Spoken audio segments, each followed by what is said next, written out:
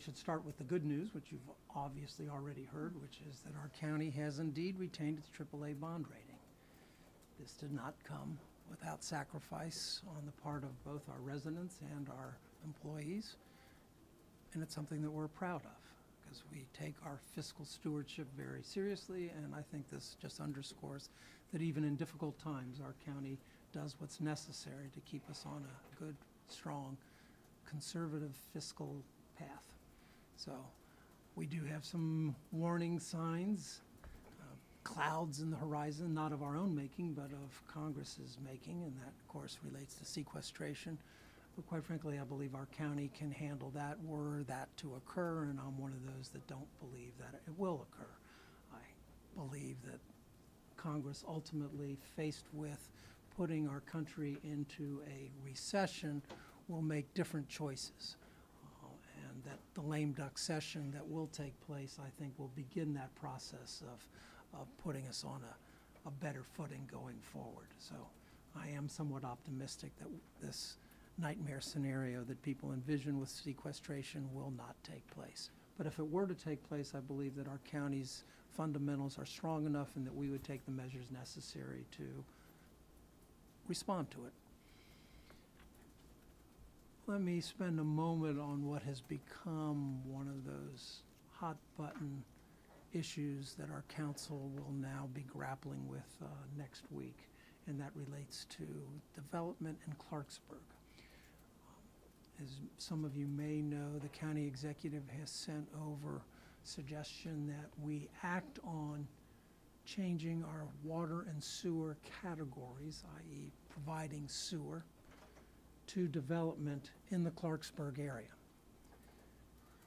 When the council back in 1994 approved development in Clarksburg, it did so conditionally.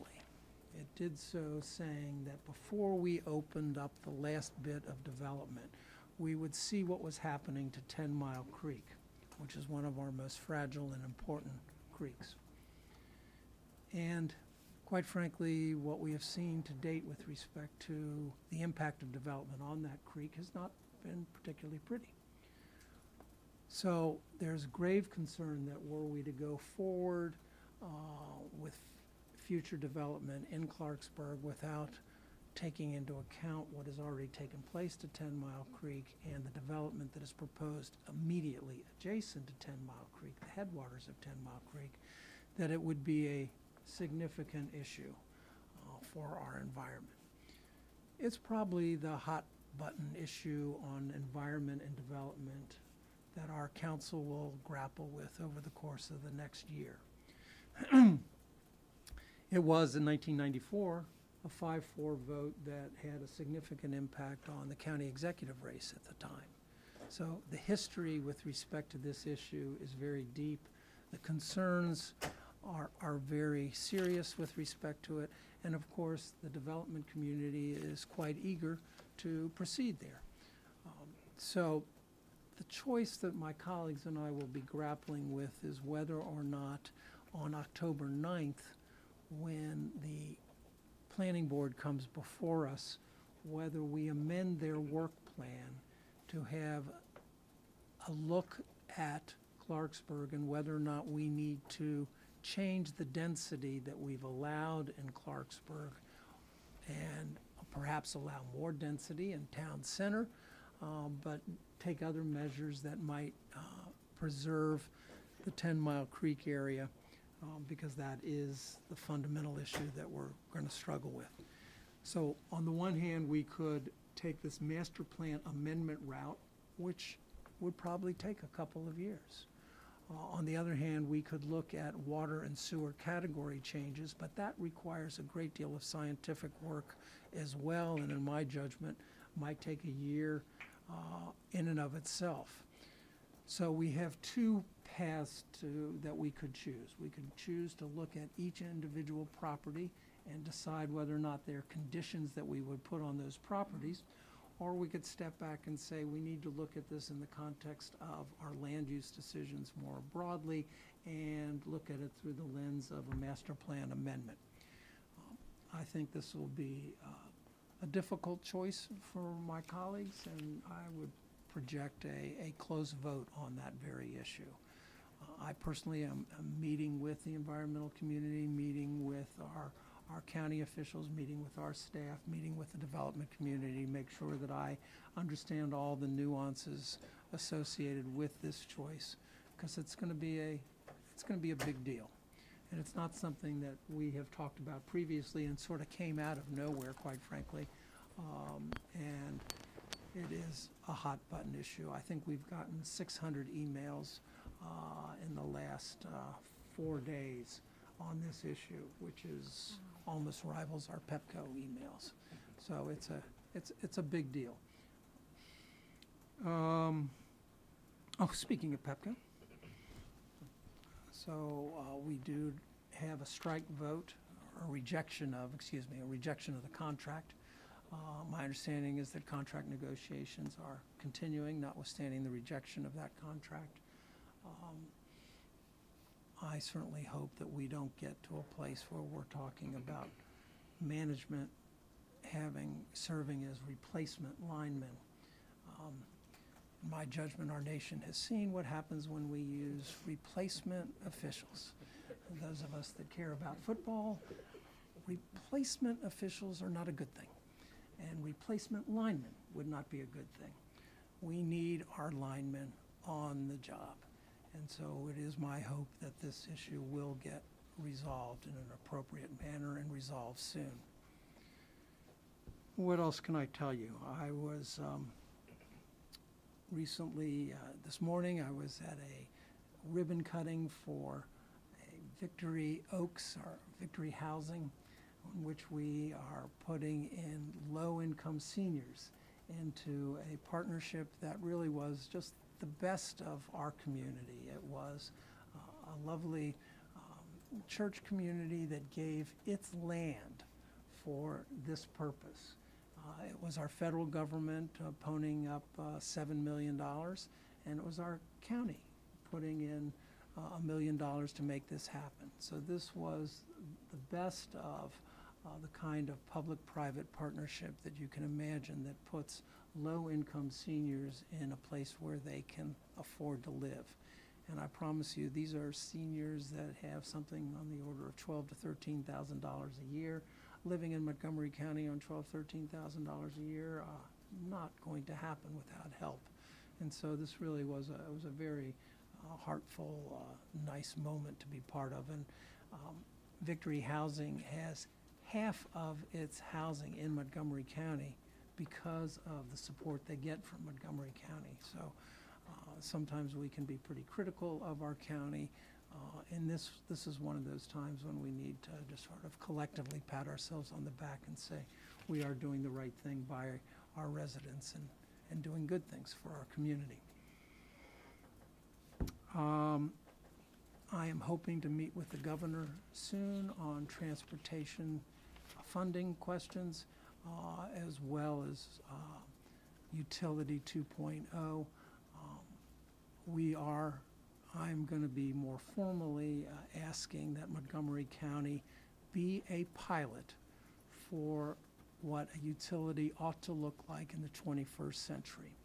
And our committee, my committee, is going to be having a session on October 25th when we bring the Energy Future Coalition and leaders in the country to appear before our committee and explain what that would look like. Uh, and how we need to change this paradigm because it is an old paradigm that doesn't serve us well anymore. So I am uh, hoping that uh, to create some momentum whereby uh, as we look at the options of public power, we also look at creating a utility structure that actually serves us into the 21st century, creates more reliability, creates more green jobs and economic opportunity, and actually uh, makes Montgomery County a place where people would want to live because it is, in fact, uh, a very reliable electric grid that is more decentralized than our grid today. With that, since we don't have a council meeting tomorrow, why don't I turn it over to you guys and see what's on your mind? Talk about sequestration first. You said you can, you think the county can survive it. I do. Why? Well, one, I think we have made great strides with respect to diversifying our economy. And two, to the extent to which we see clouds on the horizon, then we would deal with it. So uh, I had a conversation with our chief administrative officer uh, two days ago, you know, in which I said, you know, we should explore, if this were to come to pass, creating a little reserve fund. So we estimate, how much is this going to cost us in terms of lost revenue? And then we basically account for it. So we've got a strong economy, and I'm confident that we can absorb whatever this is. And I'm also confident it's not going to happen. When you move those cuts to NIH, Even, mm-hmm you would be able, the county would be able to weather that without much, of- much of a change? Well, is it a pretty picture? No, but is it something we can absorb? Absolutely. And we would. So, and again, I really feel like it is important to make sure that Congress appreciates the impact. It is important that Congress appreciate the impact on the defense industry, which it clearly is beginning to understand, um, and its understanding of how it would ravage social safety net programs, as well as leading institutions like NIH. And I do believe that it is when you get to the brink that you realize you must pull back. And to the extent to which this is, this election is about what path to, to, uh, we are gonna follow, I believe that makes the choices easier. Up until this point, everybody's playing a game of chicken. And, and now, after the election, somebody's gonna have to give, and my belief it is, is that those who lose are those that are gonna have to give a little in this game, a little more than they've given to date. Uh, and that we're gonna work our way through this. No one wants sequestration. What else, gang? We were on a negative outlook list before because of federal government. Are we still on that list? We are on Moody's, but I will say to you, and we've had, we had a heart-to-heart conversation with Moody's when we were up there before. Uh, Moody's has five criteria by which it is judging communities that are linked to the federal government, and we're gonna go up there and explain to them why they need to change that criteria, and why they need to hear from communities as to what they're prepared to do in response to sequestration. So, for example, let's assume for purpose of this conversation that we were to set aside X millions of dollars to account for the lost revenue. Then from my perspective, if we look Moody's in the eye and say, okay, here's our estimate of the impact, and here's what we've done to address that impact, we should be done. Now, if communities aren't in a position to address those impacts, that's a, that's a different situation. But we feel that Moody's is applying a way too broad a, a brush, if you will, to this issue, and it needs to be more specifically tailored to what a community is, impact's going to be and what they're gonna do about it. Do you have like an estimate of how much money it would cost the county if it were to go through? Say that again. Se- Sequestration, do you have an estimate of how much that would cost? That would- We don't have our own estimate at this point in time. You may have seen that the state put out uh, some numbers last, uh, last week, which I believe suggested something on the order of $200 million annually in lost revenue. So I'm going to assume that Montgomery County is, is a piece of that. Uh, And so we have to deal with it. That's in tax revenue. But on the other hand, you know, we're, we're hoping, we'll find out in November that, see if the economy is picking up a bit as well, and that our tax revenues may be a little stronger than we otherwise thought. When are you gonna go up to Moody's and have? We had our first conversation with Moody's when I was on the trip with the county executive, uh, and uh, we're in conversation with our chief administrative officer, who is perfectly positioned for this. He is president of the Association of Financial Officers for Local Governments, the National Or- Association. And so he's, he's really perfectly placed, and he's having conversations with other communities that are, could be similarly affected, and see if we can make a uh, coordinated uh, pitch to Moody's.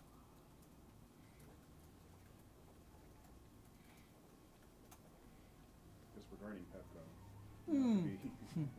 Um, One, one is your take of this, looking at it, that this is what they're fighting over is not a particularly large, the union and the company fighting over what's a particularly large sum of money. What can you just say about the, in general, that there's a threat of strike at this, I am reluctant to get in the midst of sort of collective bargaining disputes. Um, I can say that without a doubt, it is not in the public interest for this matter not to be resolved. And I think that's what Pepco has to understand, that it's not in the public interest for this matter not to be resolved. So I have some sympathy for any worker who is looking at losing potential health care benefits and other uh, benefits of that nature. This is not a time in which people want to lose benefits of that nature. But I can't, I, I really don't know enough about the details, and I wouldn't think it's appropriate for me to pine, even if I did. What's the latest in the county attorney's opinion on the revisiting? Have not, have not heard back yet. Do you expect the date, like, is there a date set? There, there was not. I wanted him to take a good look, and it, it could very well be that he comes back and say, Council President, uh, I stand by my analysis. Um, I just thought it was very interesting, because I hadn't focused, and I should have, on the fact that Pepco itself acquired this franchise from another company, okay? It bought it. So, to me, that makes it, if you will, much more like a commodity.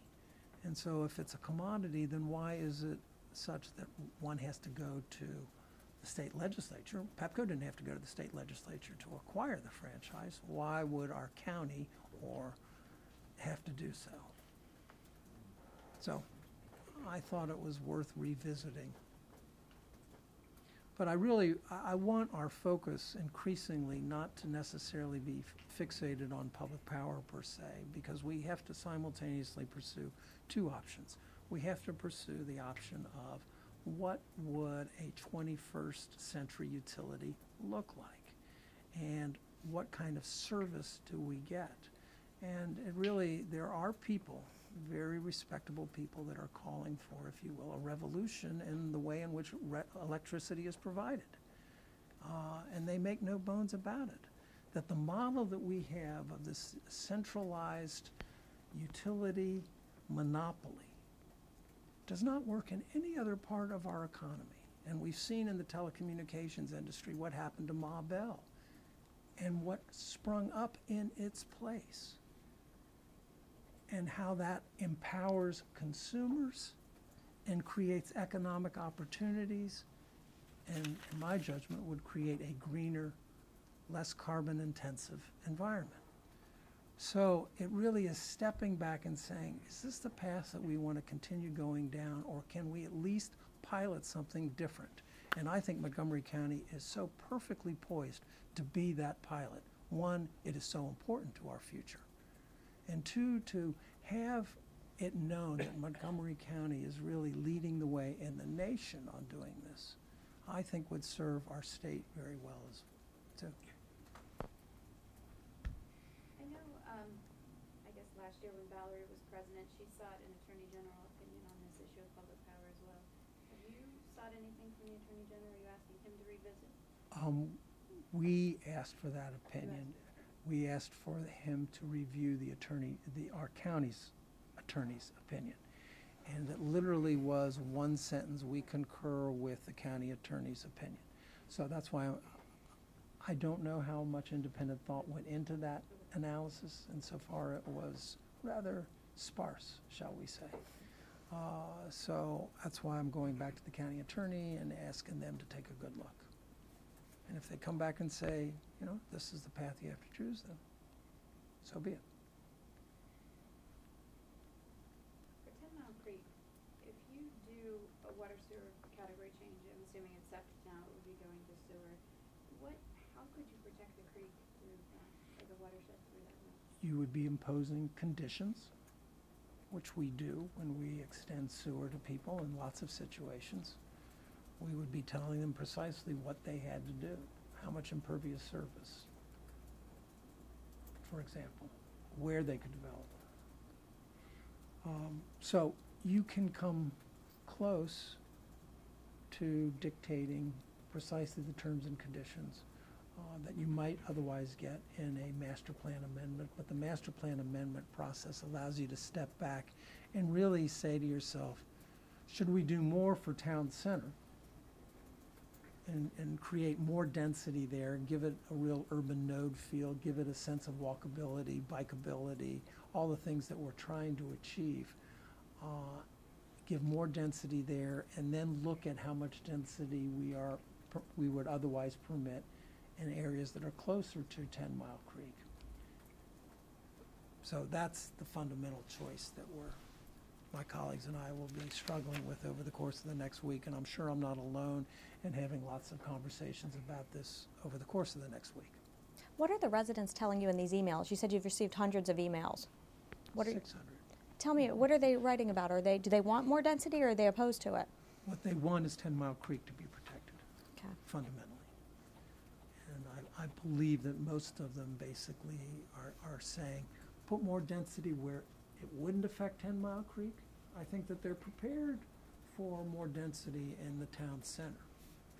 I think they're very concerned about allowing development to take place in close proximity to the headwaters of Ten Mile Creek, given the history that we've seen when development occurs. We have had a creek that was pristine. It is not pristine now. And that's a function of the development that's taken place. Anytime you move that much earth, you can imagine what it does to the sediment. Okay, you're moving a lot of earth. That earth gets in the creek. So this issue has sort of particular resonance for me. One, I'm chair of the committee that has environmental responsibilities.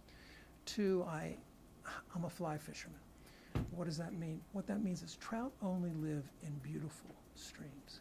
And if you put sediment in a stream, you see immediately what takes place to a stream. And I want you to know the difference between a pristine stream and a stream that's not, it's a big deal.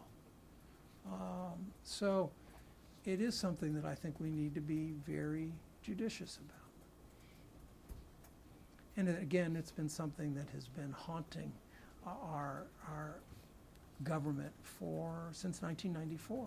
It's- It was a very uh, controversial decision to put as much density as was put up there. It was over the objections of the planning board in 1994. Uh, On a 5-4 vote, the council put more density than the planning board had suggested. And so the reverberations of that continue to this day. So what switched? Why is this now back to being an issue? Uh, because the county executive decided to make it an issue by sending over his suggestion that we go forward with the water and sewer category changes since we hadn't done anything on the master plan. I know there's Amendment. four developments up there kind of not necessarily proposed, but developers owning the land and considering options for them. Any of those impetus for this forward to now? Well, I assume that those developers have made their presentations to the county executive, and the county executive felt that, it was time to, to move on these. I was not given, the county executive did not advise me of his uh, decision to uh, send these matters over in this form. And is there a reason why it has to be decided by October ninth? Is this Well, October 9th is when the uh, planning board comes before us for their semi-annual work plan uh, update, if you will. And so if we believe it's time to make a decision on this issue, which I think most of us believe it is time to make a decision, uh, this would be a logical time to do it because we would direct the planning board to uh, look at this issue in a comprehensive manner and come back and advise us as to where, where they think we can afford to have uh, more development and where can we not afford to have more development. Because clearly the people of Clarksburg have not gotten what was promised. Um, But what was promised fundamentally was a vibrant town center. And so from my perspective, to the extent to which we're prepared to relook at how much density we could put there and actually add density there, then we create more of an opportunity for greater vibrancy uh, in that community. So that's one of the issues that we'll be talking about. But a water sewer category change does nothing to that issue. Does nothing to that issue. So it is, in some sense, it is what lens do you want to look at this issue through? What's the most rational lens to look at this issue. Uh, And so, Did you have a recent meeting with the counties? I thought that was on the um, advisory for the press conference that you were going to brief us on. say it one more time. Was there on the press release announcement, a meeting with the county, or did I We read that We had a meeting with MACo. MACo, yes, that's it. Okay, I apologize. Uh, I thought we talked about that last time, but maybe some of you weren't here last time. Uh, I was here. We didn't talk about it last time? Uh, We did have a meeting with MACo, uh, in which we really were talking about transportation funding sets of issues, uh, particularly whether or not the state is prepared to in any way move forward on transportation Okay. funding. And if not, uh, would the state be willing to assist local governments in moving funding, moving forward with local funding of transportation? And I think that that is going to be the fundamental decision that the next legislature is going to have to, to deal with in the next General Assembly. Because I really think no is not an answer.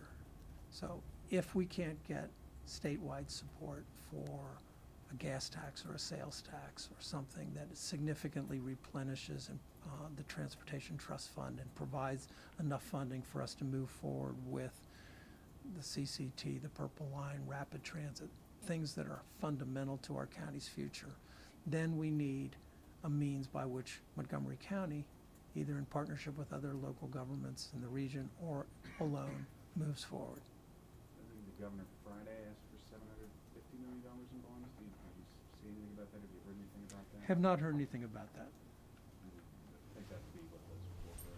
I would, I, I would hope so. I haven't been briefed with respect to it, so I apologize. You know more than I do, which most of you often do. And how are you feeling about police bargaining? I'm feeling good. Do you want to elaborate on that with the letters that went back last week? Well, what, what I would say is that there are only two things in this region that unite Democrats and Republicans. The Nationals and effects bargaining. Anything else to say back in, in, uh, Lanny Davis's letter? I- He said you put words in his mouth. He, he never accused them of lying. I know, just deliberate misinformation. I mean, I guess that's a, a nuance that I uh, missed, but I, I think he did say deliberate misinformation. Uh, Maybe that's not accusing people of lying, but it, it comes close enough where I, I did say essentially. So, uh, from my perspective, uh, I, uh, my letter stands, and I think uh, our Democratic Party stands, and I think the Republican Party stands, and uh, so it is a unifying force in our community. Any word on the IG? Is the Inspector General gonna look into this whole thing?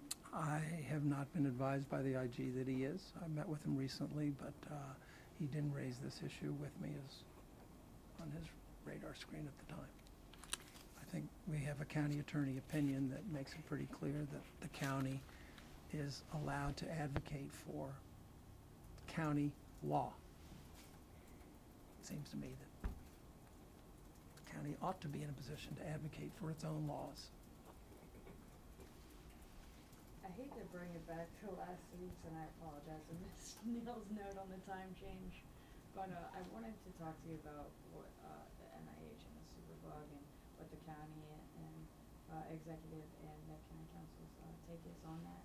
And your take is on what was happening with the superbug and what the county intends to do in the future with this. If you could school me up on what we talked about last week, I'd appreciate it. Sure, what um, NIH has been very open to sitting down with our county and working towards a memorandum of understanding, um, which would set forth when and under what circumstances NIH would share with the county things that are going on in their clinic. Um, I, I have been very heartened by the openness of NIH. It is, it really is handling this situation, I think, in a most exemplary manner. It's a huge part of our community. It's a huge part of our economy. Uh, and it has responsibilities to our county that they fully understand. And in this particular situation, they had actually advised the state of the situation, and it was the state that dropped the ball in not notifying the county. So we just need to sit down and have candid conversations that in no way intrude upon their serious responsibility, recognizing that this is a place of last resort. This is where the people that are the sickest of the sick go for the last gasp, the last hope. And they do such an extraordinary job in providing that. So we don't want to get in their way, but we do want to understand uh, what they think is an appropriate protocol for their host county to ensure that our community is fully aware when it needs to be aware. And I'm not uh, a clinician, I'm not close enough to it to say, to draw that red line, if you will. Uh, But I am confident that our public health officer, our director of health, our county executive, the state, and our, our chairman of our uh, Health and Human Services Committee, that we can collectively work through this. Thank you. Sure. All right, gang? Thank you.